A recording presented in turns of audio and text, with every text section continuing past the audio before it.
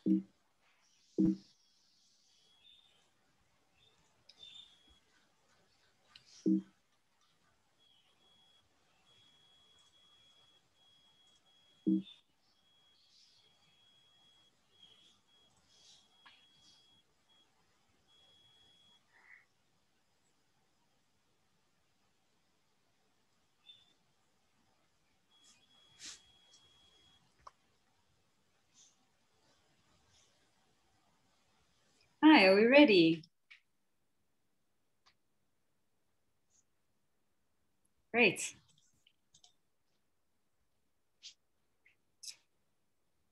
Um, welcome everyone to the first in our animation SA stakeholder engagement talks.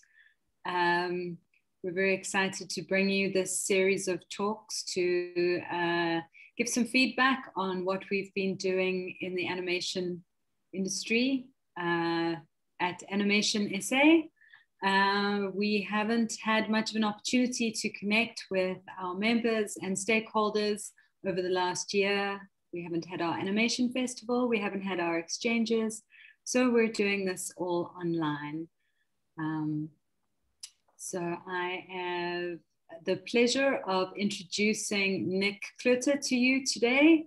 Uh, Nick has been the chairman of Animation SA uh, since 2015. He has been doing an extraordinary job coordinating all the efforts of everyone who has been involved and um, working particularly and specifically on what we call sector support which is working with the, um, the larger stakeholders in the industry um, around policy and legislation, amongst other things, um, to ensure that we are uh, well represented and our interests are represented at every level. So um, I'd like to introduce Nick to you. Uh, welcome, Nick, to the talks and series. Um, how are you doing today? Doing fine, Kanda. Thanks for the intro and thanks to Goethe putting this on. Great, good. So um, I believe you're going to be talking about uh, specifically what Animation SA is doing to build, sustain, and create opportunities within the animation businesses, uh, well, the animation industries. Uh, you're a business owner yourself, Nick. How long have you been in the animation business? We first incepted Mind's Eye in 2011, so I suspect it's been almost a decade. Wow, a decade yeah. in business. So you know the ins and outs of doing business in South Africa. Various strains of it, for sure. okay, great. I won't take up any more of your time. I'd like to hand over to you. Um, thanks very much for joining us. Great, thanks. So yeah, for everyone tuning in online, thanks very much, and thanks for taking, uh, making the time and taking an interest in the industry. We realize, like Candace saying, that we haven't done this in quite some time, and it's our responsibility to actually engage with our stakeholders. And so we thought it was high tide, and that's why I'm very grateful for this platform, so we can actually communicate with you what it is that we have been doing, and to make sure that's entirely aligned with the, your interests.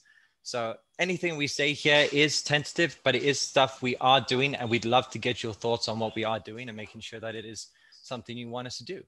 And obviously, the better ideas should always prevail. So if you have any ways that you want to be involved or anything that we are doing, if you feel that there's something better we ought to be doing, please let us know. There's quite a bit of content because there's quite a bit for us to get through. So I, th- I think without further ado, just so you know, my key portfolio is sector support is kind of sane. So the session today is going to be focused on the trading conditions for professionals and studios. So it includes policy, legislation, regulations, really dry stuff, but ultimately with massive implications. So I'm glad that you guys are tuning in, take the time. So let's get into some of the nitty gritty of what we're going to be talking about. Things like what decisions the Department of Labor has been making in terms of uh, its intention to deem persons in film and television as employees uh, for certain sections of the Labor Relations Act. So I can tell you what those sections are, and it's quite debatable as to whether it's going to have the desired effect for those who are pushing for this to happen. But in effect, they want to deem people operating in film and television as employees, and they want the industry to regulate the conditions of employment in one of two ways. Either they want us to establish a bargaining council, which is formally regulated and established by employers and trade unions in terms of the LRA. And then this bargaining council can conclude co collective agreements and request the minister to extend those agreements to other parties who are not signatories. And therein lies the concern. But hang on, I'll get there. The second thing is that we have a non statutory uh, bargaining forum that will operate through collective agreements uh, that the parties will agree to. And then the parties can then request the minister through the National Minimum Wage Commission to establish the sectoral determination for the industry and have those agreements being considered as inputs to those conditions. So it's a bit of a thing, but effectively the two things is a bargaining council and the sectoral determination. There we think, okay, so, so effectively what is the issue with that? Well, in the department's own words, and I'm going to read it out here. The fact that the industry is very intricate and diverse, which means that it will not be possible to have custom conditions of employment for all subsectors within the film and television industry. Okay, so this is especially true in animation where we potentially cut across all sectors and subsectors. We form part of the multimedia value chain across the board, including short form commercial, long form film and television sectors. You know, so agreements reached by others may not work for us. And even agreements reached by some of us in one sector won't necessarily work for the rest of us in another or even in the same sector. And so everything is project dependent and varies depending on scope and deadline. So if one set of rules can't even apply to one stakeholder, us being in animation, uh, what is the likelihood of it being able to apply effectively across the board to all in our entire industry? That's a big issue. So now the second thing that they critiqued of their approach is the fact that they need people in the industry to retain their status as independent contractors in order to still be able to offset expenses incurred against income received in the course of a tax year. So employees, for those of you don't know, it's tax code 3601, independent contractors, tax code 3616. In order to be able to offset expenses incurred against income received in the course of a tax year. So the question is, is it possible to be deemed both employee in terms of the labor law and independent contractors in terms of tax law. So those who are pushing this want to maintain their tax status in order to claim back on deductible expenses, and they want to retain the rights to contract so they can negotiate on contractual terms, which they claim doesn't apply in practice because of the imbalance of power, like with broadcasters and performers. So the biggest problem with this is that the statutory common law dominant impression test requires that employers like ourselves determine whether workers are independent contractors or employees. If we're audited and SARS determined that we failed to make the right determination, then we're liable for the deductions and penalties. So those who want this to happen are confident that the applicable sections of the LRA won't have any tax implications. But I'm not so confident about that. I don't know why they are, because there's been no collaboration between the Department of Labor and the Receiver of Revenue. And those are the two bodies that would ultimately make that determination. In fact, they're so afraid to even broach the topic with SARS because they're worried that they may lose, lose the independent contractor status. So if you're already nervous at the outset, why are we trying to do this? Is part of the questions that come to my mind. And the third is the fact that the, in terms of performers, if the actors, for instance, are deemed employees, they lose their moral rights, the exploitation rights, and the rights over ownership over the image. So, yeah, it's only very certain sections of uh, the Department of um, the Labor Relations Act. So, national minimum, minimum wage, uh, compensation for occupational injuries and diseases, basic conditions of employment, and I think it's Section 198B of the Labor Relations Act. So, those are the applicable sections is it enough for them to actually lose those rights? And we're kind of worried about that because remember, animation represents artists and producers and studio owners across the board. So we have to make sure that everyone's interests are represented. So, you know, we have performers who are voiceover talent, so we have to be concerned about their well-being and for them to ma- maintain their tax status. So, and one thing they didn't mention was the fact that th- what the obvious cost implications are. At least they're obvious to employers, because there's a statutory implication and limitation for employees, which is 45 hours per week. So, less hours per day means more shooting days. I checked with uh, some of the commercial producers, and they say their average shoot is about two days, but it ranges between 14 to 16 hours a day. So if you're constrained to that number of hours a week, it means that there's less, so there's more shooting days. More shooting days means higher production costs. High production costs means that South Africa may not land the jobs. Less jobs, less job opportunities it doesn't just affect live action either. It affects, you know, the VFX studios who would have gotten the work had the live action guys gotten the work. So the question is, what is the Department of Labor? What do they want to do? So their way of thinking is that they want an informal self-regulation framework whereby sub-industry collective agreements will be concluded to be made by a sectoral determination on request to the Minister of the Employment and Labor. So all that means is whatever ag- agreements are concluded by the parties in these agreements is going to be extended across the board to different sectors. What are these sectors and subsectors? We don't yet know because we don't know how we're going. But as I said before, we cut across the board. So to what extent are we going to be affected? So if uh, a high value commercial shoot is X and the expectation is that we pay voiceovers Y, but it's for a development job and we those rates will no longer be applicable because it's prescribed by these sectoral determined rates then can we do that work at all? No. And then it allows a lot less contractual freedom in that case and the second thing that they're proposing is a collective bargaining process through an industry bargaining forum that will enter into collective agreements and request the minister to extend those agreements to other parties in the industry. Again, it's prescribing, it's trying to find a one size fits all approach across the board. And by the way, neither of these options actually addresses the moral rights and exploitation rights and rights of ownership for the performers. Okay, so why is this happening? What does ASA recommend? What are we doing about it? Okay, so it's all based on the presumption that exploitation of performers and crew is rife. So they have to get government to intervene. And that's why the Department of Labor is here. Um, so those pushing for this to happen want self-regulation where we can decide amongst ourselves how the industry should be regulated, but they want it to be enforceable by law. So they want to be deemed employees so that they are empowered to collectively bargain. And that that's not possible for independent contractors. That's why they're doing this. Um, they want to introduce standardized contracts, but they want them to be mandatory, not voluntary. And the claim is that there are enough industry associations that have agreed to self-regulation and enforcement by law via sectoral determination. But so far as we're aware, there are only two. And it's just the main proponents and their union partners. That's all we know. And for good reason. So they want to agree on minimum conditions and rates uh, and be properly consulted on and get the minister to make that determination.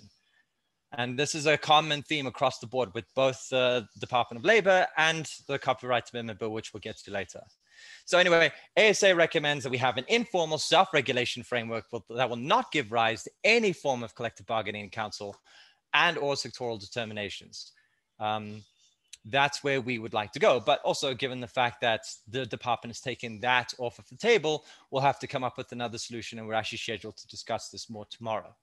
So we're hoping to keep you guys posted on that. But if anyone has any questions about that particular cause for concern, uh, do let us know in the chat and then I can maybe answer some of those questions as once they come. The other thing uh, that we're trying to do at the moment, if you guys have noticed, how often do you see locally animated, uh, locally produced content on television? How many locally made goods do you see on TV? You know, for those who, of you who do watch linear um, broadcasting in SA. So just for those who are unaware, there is currently no inclusion of local content quotas for animation.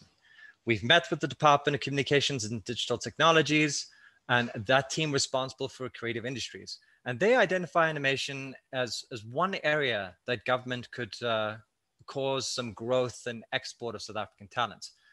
So we advise them to include local content quotas so local broadcasters are compelled to invest in and contribute to animation to some extent. And for those who have who don't have a producing experience, there are many different models.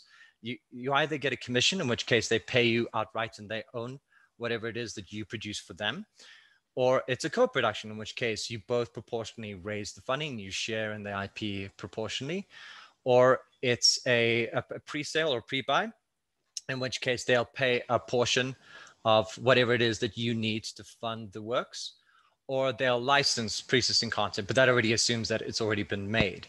So there's there's different models that they can employ, but we're saying any one of them is fine with us as long as you're making an investment in animation. Because ultimately, the long-term goal for most studios involved in entertainment is to own the rights and the work they produce. This way, they generate the revenue for the exploitation of the IP and not just through the service work, which we manage to secure through a financial year. It's being able to generate passive income is a way for studios to become self-sustaining well into the future. So that is currently underway. We've actually made that uh, formal submission through the, the Department of uh, Sports Arts and Culture Reference Group, as well as the IRG Master Plan. We're going to make sure that that reflects there, which would be very exciting, different uh, change for the trade because uh, uh, thus far, children's programming that they put in there, it's it's been you know, it hasn't really included live action.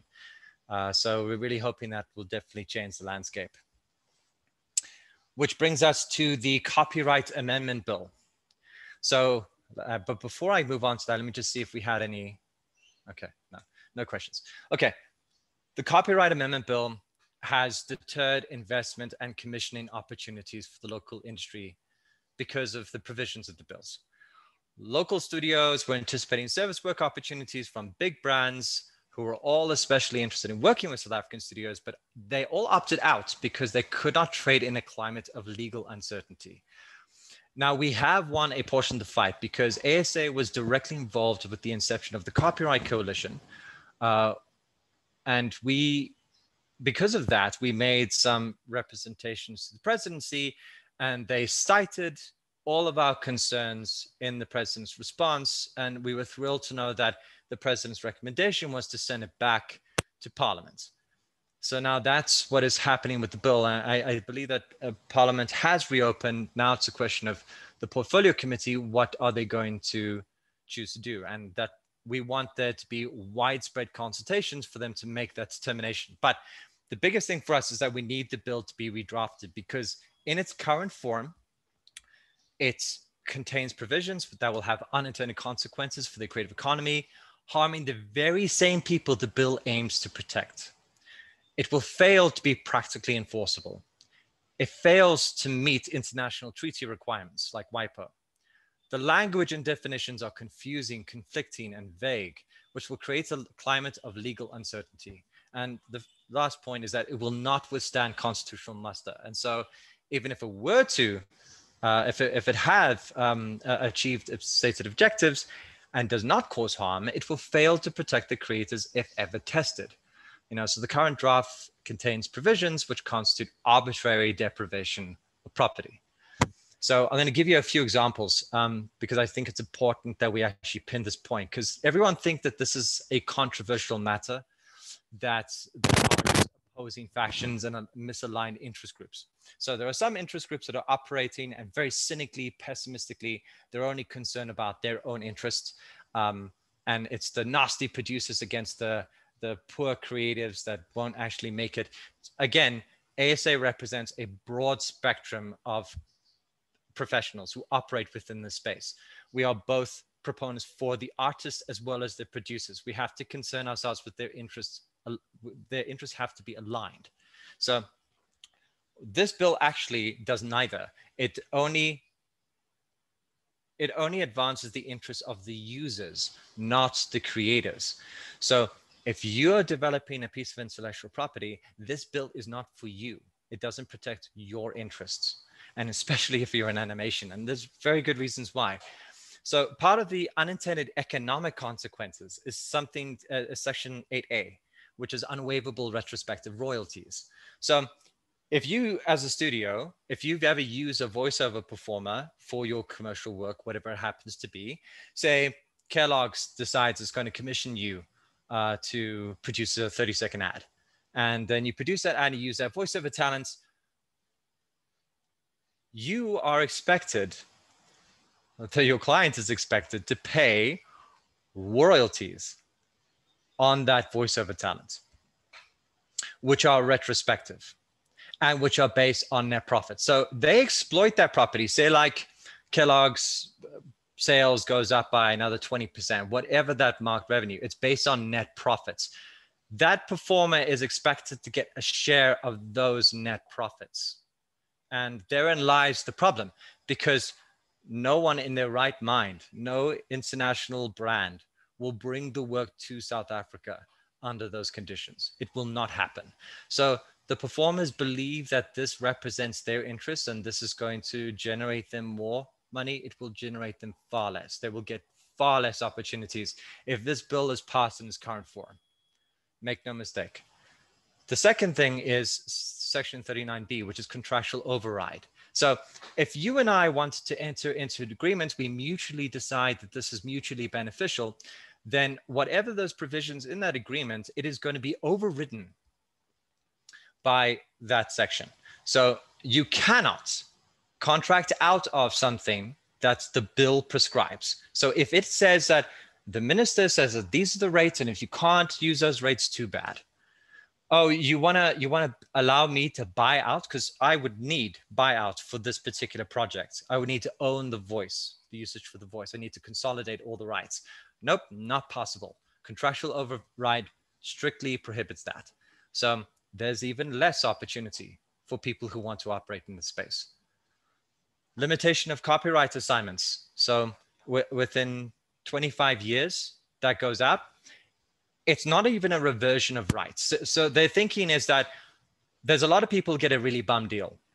When they enter into these agreements, what they realize is that they want a better deal. So what they're thinking here is that if we make it so it's only 25 years, the rights then revert back to the copyright owner, and then they can renegotiate the terms. The problem is, especially when it comes to audiovisual works, is that the producers have to consolidate the rights. So uh, audiovisual works are made of all kinds of components. So there's there's a composer, there's uh, performers, uh, there's the, the the character designs. All of these different things form part of the collective rights and we have to consolidate those rights. So if that expires, if one person involved in the making of a film or a series doesn't agree to the renegotiated conditions, that property is useless. No one's going to be able to make use of it anymore. No one can benefit from it anymore. And what you know, which you can imagine is a massive, massive issue, especially if we want to move into the IP space long term. Section 14.6 makes it so that it legitimizes parallel reimportation, which means that foreign distributors can reimport our content without consequence. And they can compete with us domestically with cheap reimports of our own work. That is effectively what this section entails. Section 23 allows for sub-licensing agreements. So without your consent, your licensees can conclude sub-license agreements without the licensor's your permission. And the bill may say unless otherwise prohibited, but in the context of the bill, the word prohibited means prohibited by law, not in terms of making the rights subject to the agreements to the contrary. So um, yeah, it's a it's a bit of a horror fest. You guys have to. I know it feels like a bit of a muddle, but I would absolutely recommend you guys look up these respective sections and see for yourself. Apply your minds to actually understand what these sections mean and what they mean to you. And then, of course, there's fair use, um, section 12A5. Now, in principle, we're not opposed to fair use. This isn't a fair use, fair dealing disagreement. Um, but the claim is that it's modeled broadly off of Section 107 of US uh, copyright, but it isn't. It is nothing like it. In fact, it's, it has an overbroad extensive list of exceptions to copyright protection. So it lists general exceptions from copyright protection, which by the way, includes cartoons and caricature. And given that animation and cartoons are used interchangeably in common parlance, does that mean that animated works won't enjoy copyright protection in the future? And you may think that that's an absurd idea, but if you look at the unscrupulous people who would try to get around the legislation, that is precisely how they're going to choose to interpret the bill. And with, with the way it's currently drafted, they can get away with it too. And not to mention that many, many artists within our trade actually produce caricatures. That's part of their work. they produce caricatures and they sell caricatures. Um, so yeah, there's a massive, massive distinguish, uh, distinction between that. It's also different because in US copyright, there is a, a, a statutory infringement penalty. So if the person is deemed to have violated your copyright, uh, they would be required to pay you a penalty. So there's some form of they they were trying to dissuade people from doing that, which wouldn't is not something that's in this bill. And if people say, "Oh, but it's fine because all the creators will have access to a copyright tribunal," um, by the way, the laws and regulations for which still need to be established, it you may be accessed, you may be given granted access to the copyright tribunal, but not to the legal practitioners who need to represent your case. And you know, the pro bono legal practitioners who'd be willing and available to represent the creator's case may not specialize in copyright law. Uh, there's also no provision for costs like, you know, that they'd be able to claim back on. Um, so all the costs of the trial would be for your expense. So you lose money trying to protect your rights in this case. So as an example, like the design tribunals currently have a, I think a one year backlog, which means that infringing parties will be able to continue to use the creator's work until the matter is adjudicated and the ruling is made. And unlike the US, there is no compulsory statutory damages, as I, as I say. So there's no deterrent for bad faith actors. So yeah, uh, we also don't have the 200 years of jurisprudence to inform all the rulings. All of the, anything to do with fair use is a judge-made law. They'd need to start looking at these cases and start making ruling on these cases to be precedents, to establish precedents so that you know where you will land on certain issues. Whereas with our current fair dealing, it's possible to, to issue an interdict ordering infringing parties to cease and desist to prevent further exploitation of copyrighted work. So that's at least one benefit that we are currently more protected than the prospective draft. Um, it would also be the minister would be able to prescribe rates. Can you imagine what that would be like? Imagine going to not just the minister, go to anyone who doesn't understand anything to do with our industry, which is so varied. And so many of us do so many different deals. Uh, we can do deals for different reasons. We can minimize the cost in one respect. So we can in order to, you know, we do this deal and we'll do the next one for a higher premium. There's all kinds of reasons why all of this is always going to be in flux and it's a project by project basis and it needs to remain that way. But can you imagine what it's like having a third party prescribe your rates for you in terms of what you should be expected to pay? It's just a no go. Uh, people are not going to touch this. Uh, there's too much risk involved if the minister is prescribing rates. Now, luckily, we, have actually had some success because initially the bill was any works made with state funding would be owned by the state, which, you know, for, the most part, if you're operating within SA, it's the DTIC uh, film incentive, it's IDC funding, which is part public, part private, and whatever local grants you can get, which are mostly primarily state.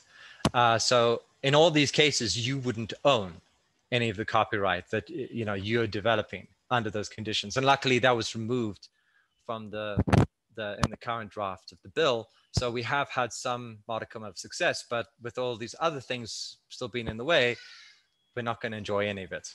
So you got you guys can get the picture. I wanted to try and paint it, paint the picture as vividly however depressingly as possible so that you knew why in vivid detail why this isn't a matter for debate it's not a question of oh it's this side versus this interest group it's just how these things will practically apply in the real world And for the most part, we believe that the entire process has been unconstitutional because the bill was initially classified as a Section 75, which basically it isn't because Section 75 means that it doesn't affect culture or aspects of trade and education. And Section 76 does. So, in what way is film and television not affecting culture, aspects of trade, and education?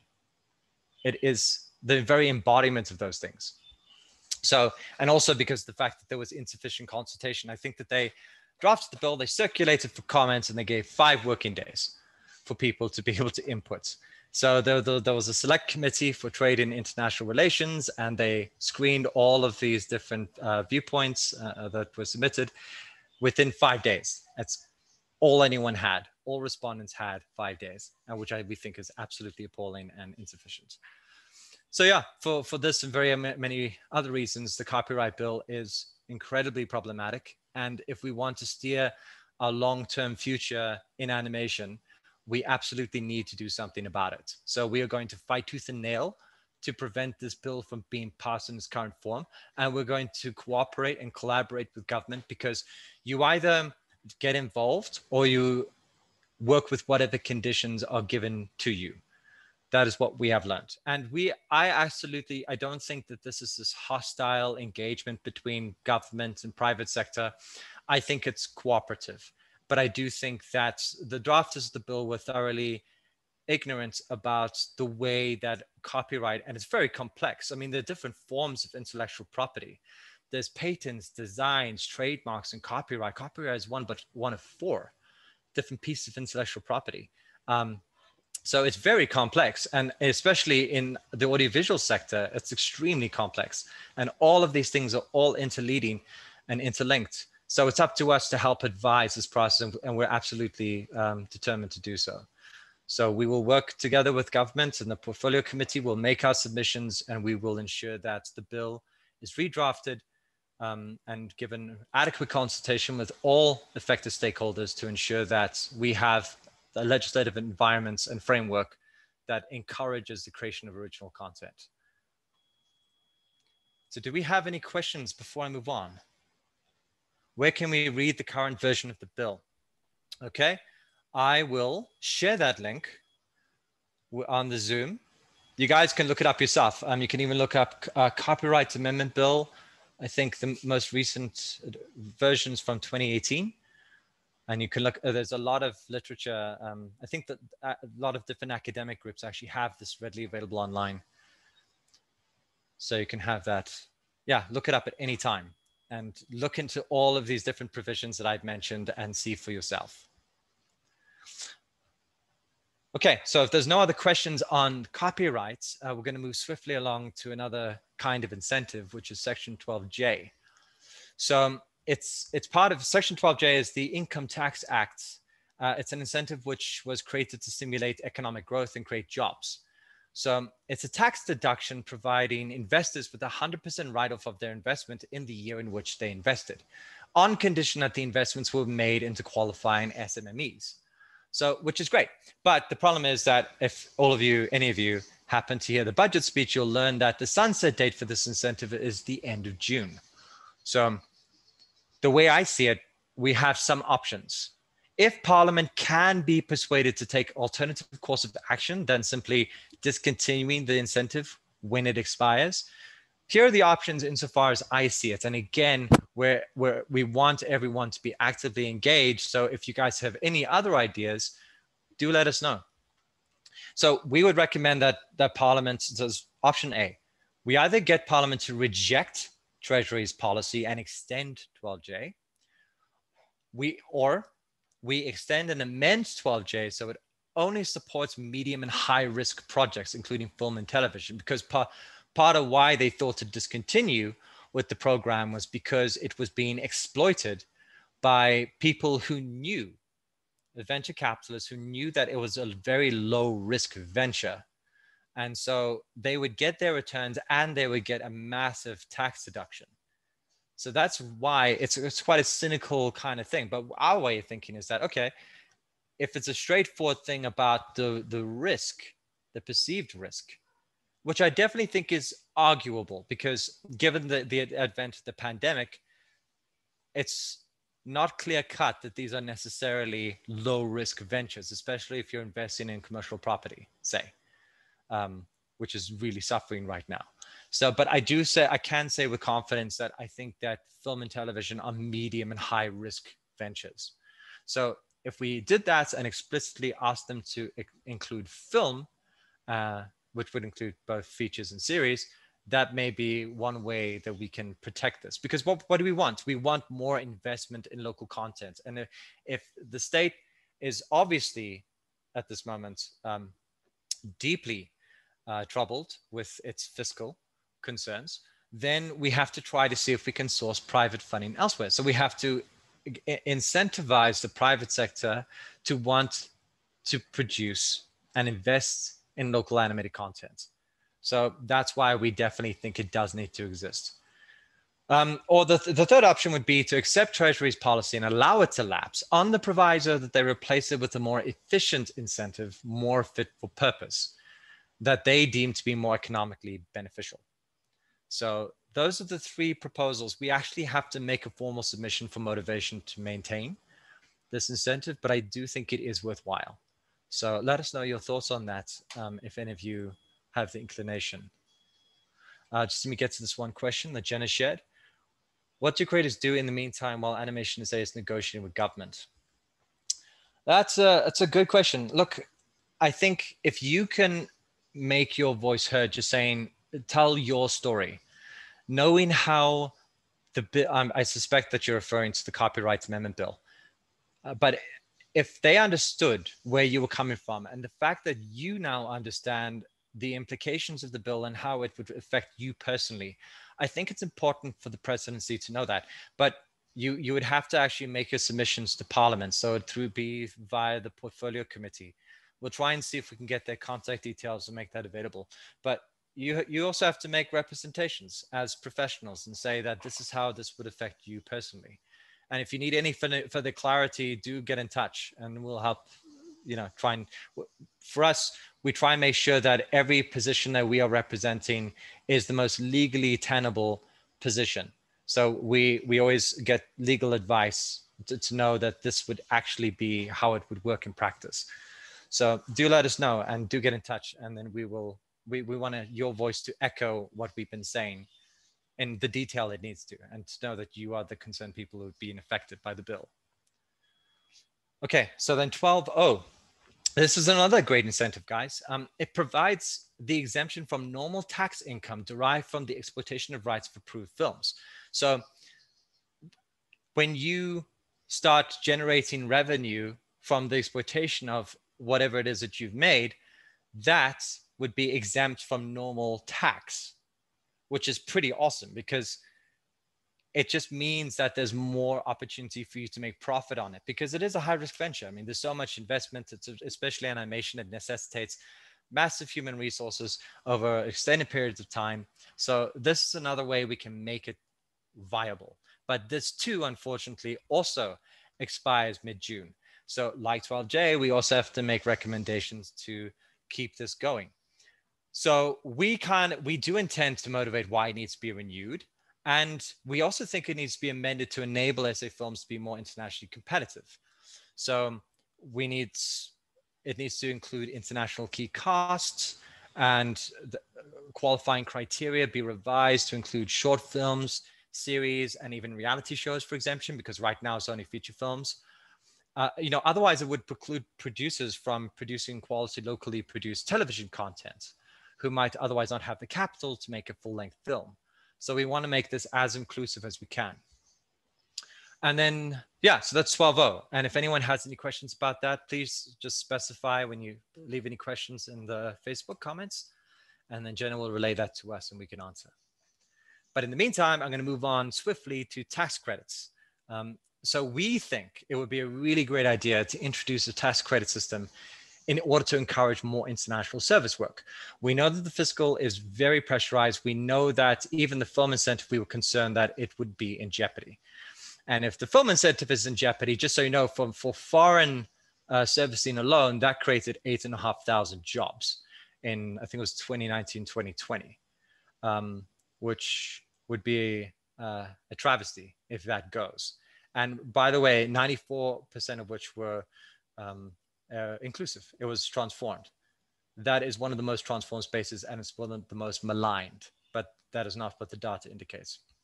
So we do have to do what we do. But my thinking is that if we offer a tax credit unlike the film incentive where the government has to apportion the beginning of every financial year through the division of tax, um, it wouldn't be necessary in this case because it could potentially be based on eligible labor spend.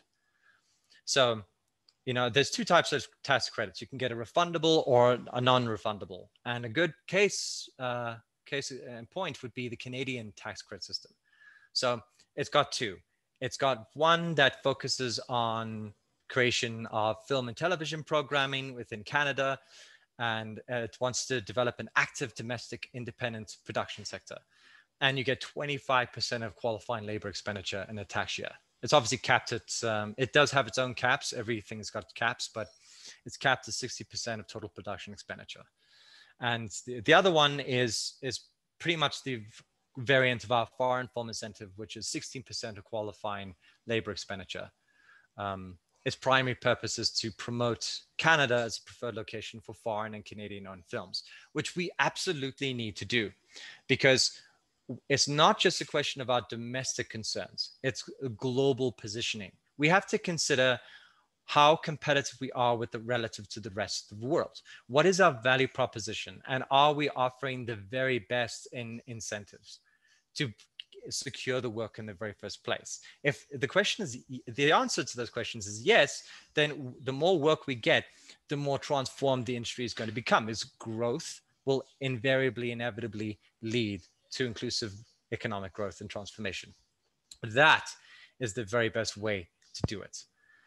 Um, so yeah, uh, that's pretty much where we stand on that. It, I know it's going to be a long time coming. We do think it does need to be administered through the South African Revenue Services because it's a very straightforward process in that case. You pay whatever you pay in labor spend, you get a portion of that back, or you can pay it back to your clients. And then they're encouraged to continue to bring the work to, and there wouldn't be contingents on whether there's sufficient funding or not. And you wouldn't be um, at all limited in terms of how much uh, your production costs. So this is definitely what I think would uh, we would need to do. And then I think we have time. Of correct me if I'm wrong. We are at 2:42. How are we doing for time? Yeah, we're good, Nick. Um, is there anything else that you want to explain? Uh, yeah, I suppose there's the the film incentive in terms of us working with the Department of uh, uh, trading industry uh, and competitiveness, uh, we're working with them uh, on an animation incentive, which we're, it's been a while. It's been a number of years. We've had a few engagements, but we're told that they're, they intend to unveil that very soon. But I thought that one of the things we should do is just say what about the existing film incentive isn't quite tailored in a way that we need it to be for animation purposes. Does that make sense, Kanda? Yes, great. Thanks. Okay, cool. Okay, um, so yeah. No, carry so, on. Uh, as long as we're good for time.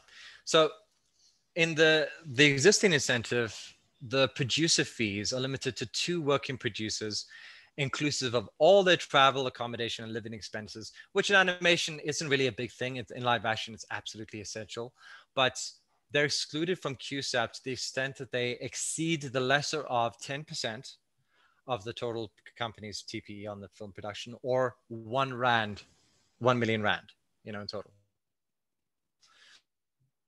But given the number of line and supervising producers involved in long form animation projects, 1 million is wholly inadequate in animation, especially if it's spanning over three years. You know, so your, different projects, it's different formats, but they can span anything between 18 months to three, three and a half years. Um, so that's why that definitely needs to be corrected. Um, general business overheads, um, anything that is 2% of the total TPE or in excess of 200,000 cannot work for animation, given that we're in live action, you know, you go to different film sets and you're only paying very specific office costs. But in animation, your studio is your set. All of your performers and you know they, they go to recording studios but your talents your the people who are actually creating the performances are the animators.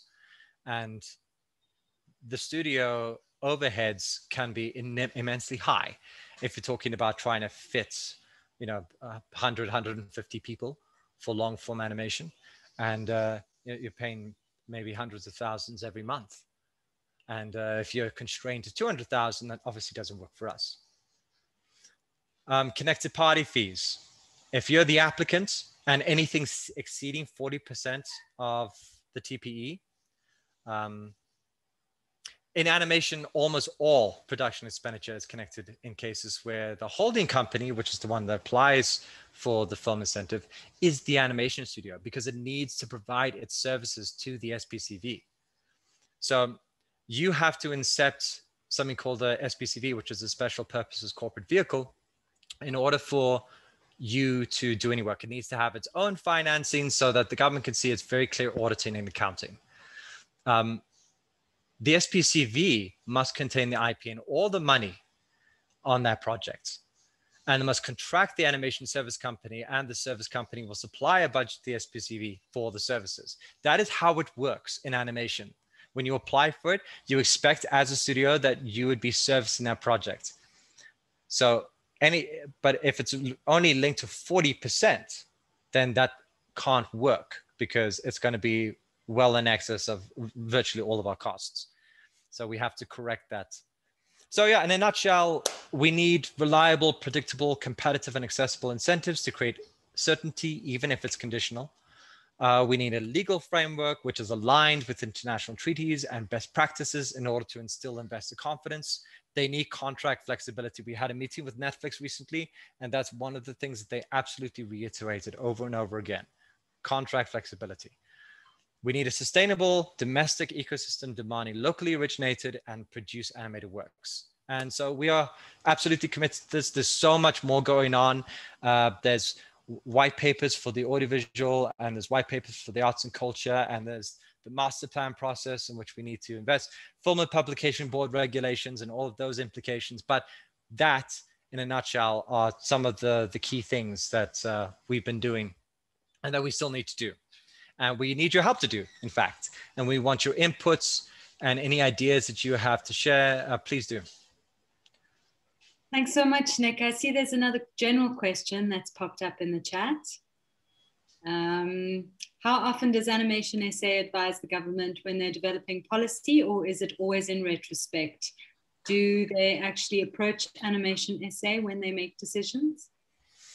I suppose it depends on which stakeholders, because this is perception that um, you know, government is wholly inadequate uh, system and they kind of make the decisions in, in a vacuum and in isolation. In some cases they do, but there are actually very, very competent people that I think are at the helm that you know, are just the biggest pleasure.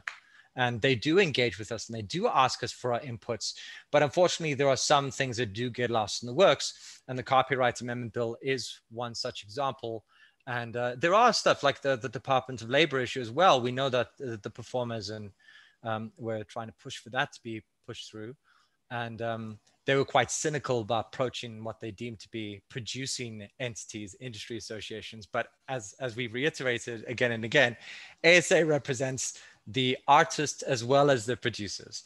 So it's not just about their interests it's everyone's across the board. So you know we care about all of your collective interests. So yeah there's some things that happen lost in the works i'm afraid to say.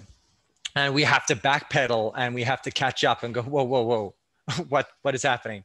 And usually it's uh, some really astute legal mind that has to bring it to our attention and they have to to, to walk us through those different provisions and we have to figure out those implications and we have to we have to advise them to tell them how this works and how our industry operates and that's that's the truth and you know even the best legal minds would need to consult with us to be able to draft this very very complex legislation so yeah it's it's a back and forth that's why i say this is a cooperative process and we're absolutely uh, determined to remain engaged but yeah unfortunately yeah so much of the stuff has been lost in the work so we are trying to catch up and prevent the bad things from happening so Right. Thanks so much, Nick. So there's been questions about, uh, or you've mentioned a few times that uh, people should get in touch. How can they get in touch? Uh, you know, obviously we send out, as Animation SA, we send out newsletters uh, to our members with details of what's going on and how they can get involved. But generally, if people have a question or want to talk about any of these matters, how do they get in touch with you um, representing the uh, sector support? Well, if anyone has any inputs on anything related to sector support, yeah, I encourage you to get in touch. You can just email chair at animationsa.org, and that's how you can do it. If it's anything related to my portfolio, if it's anything related to the festival, you can in touch with Di from a director. I think it's director at ctiaf.com, CTIAF. And yeah, so we're going to make it so that we used to have a lot of volunteers, but the volunteers kind of fall away over time. And that's just part and parcel of how it works because we're all volunteers, all trying to do what we can to play our parts in the trade. Um, but yeah, for the most part, when it comes to sector support, you can get in touch with me. Thank you so much. Um, we have a comment coming in. Thank you, Animation SA and Nick, for all you are doing. Exciting possibilities ahead despite mm. the challenges. Um, are you feeling generally positive the way we're going and where we're, we're going? Yeah, I'm I'm feeling positive. Look, the point is, it depends if you've been listened to. And uh, Isabel Rourke and I have been part of the reference groups for the Department of Sports, Arts and Culture. I think that she asked, she posed a question about Section 12J. I hope that I covered it to the extent that you need it to be done. I know it's critical for one of her programs um, that is expected for the human in innovation. Um, I, I, know that it's critical for that. So for that alone, you know, we're going to push on that very, very hard. Uh, that's a lever that needs to remain firmly in place. Great. And um, and I think that, was yeah there was another question. How often does ASA advise governments when? Oh yes, that was the question you you just replied now. Yeah. Okay. Yeah. Yeah. Cool. Um, so in order to stay uh, up to date with latest developments, um, typically we, like I mentioned earlier, we have our animation exchange events where people engage and have these conversations. And we also have uh, often uh, stakeholder engagements at our animation festival. There's exciting news coming about up about the animation festival soon, so please stay tuned to our social media channels um, and sign up as members to, to get our newsletters later on in the year. Um, I see there's another question coming in. Uh, ah, it's a comment. Uh, well done to Animation SA and the team. Um, Thank you. It's been informative. Um, the other thing you've mentioned, Nick, is that uh, we represent a wide range of interests from the business owners to the professionals, uh, the work, the um, working professionals, the students, the educators, and anyone else who wants to be involved. And I guess that uh, the we can the, the more people that contribute to the conversation, the better we can represent all interests. Great. Absolutely, yeah. So I think, kind of, if I'm not mistaken, I think that there's some workshops at the end of the week on Friday. Both, I don't know if that's, I think it's just the one in Joburg. I don't know about the date in Cape Town. Yes, it's Friday as well. We'll have networking events in uh, Joburg and Cape Town, Toasted in Joburg and the Electric in Cape Town. Uh, please RSVP if uh, you intend to come uh, because we have to uh, be mindful of the COVID regulations and keep the numbers within the venue capacity. But we are doing online talks um, throughout the week. And uh, I'm also running a workshop series in the morning. So, to anyone who is listening, uh, if you want to get involved in uh, unpacking some of the policy and strategy for animation going forward. Uh, please respond um, and email uh, Jenna at animationsa.org and let her know you would like to be involved with the workshops tomorrow and Thursday, from 10 to 1.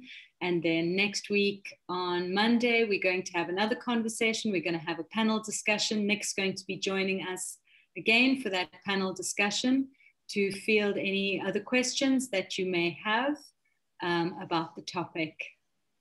So um, see, uh, Nick, is there anything you want to say in closing? No, all good. I think uh, shout out to Clea and to, to Michael and to everyone else who tuned in to listen in. It's really great that you guys make the time and uh, take the interest because, yeah, unless we are actively involved and we actually do something to circumscribe all the terrible things that can happen and all the positive things too, because all of these are actually opportunities if we can just get involved enough and just in the right way. Uh, so, yeah, tremendous opportunities in future, we think. Great. Thanks so much, Nick. And we will okay. be having uh, stakeholder engagements. Uh, we'll carry on with the, these um, throughout the year as much as our um, resources will allow to ensure that even if we do continue with lockdowns and virtual ways of working, that we can engage with everyone and uh, and work collaboratively to solve our problems and take advantage of the great opportunities in this industry. Um, I've just seen another question come in. Are we going to live stream the exchanges for those not in Johannesburg and Cape Town? Uh, yes, that is the plan. We are looking at um, reviving the animation exchanges. Uh, we just have been watching what's been happening with the COVID lockdown regulations um, and looking at developing an online version.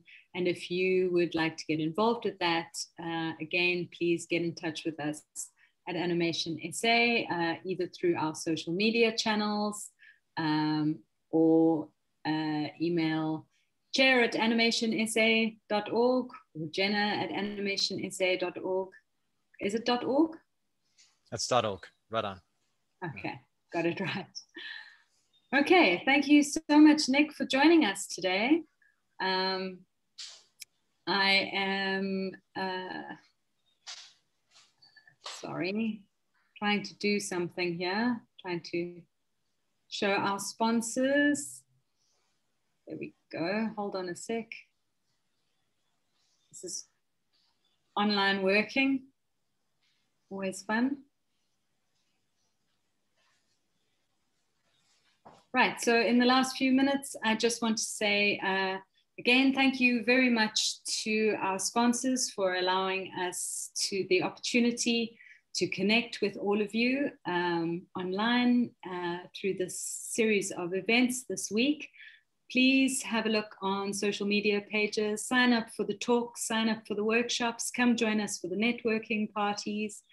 And um, we would like to explicitly thank uh, the Goethe Institute and the CLAV platform for uh, sponsoring and supporting these stakeholder events. And um, to all of you out there, get involved, be heard, join the conversations, and hopefully we will be uh, stronger together in the future. Enjoy the rest of your short week, guys. Great. Thanks so much, everyone.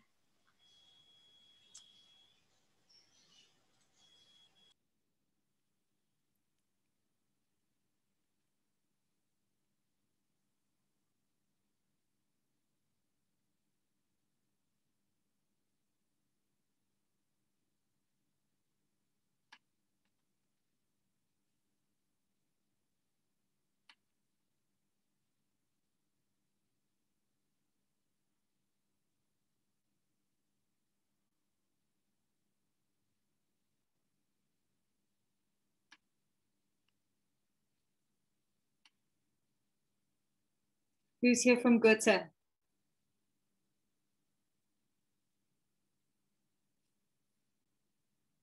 Hello?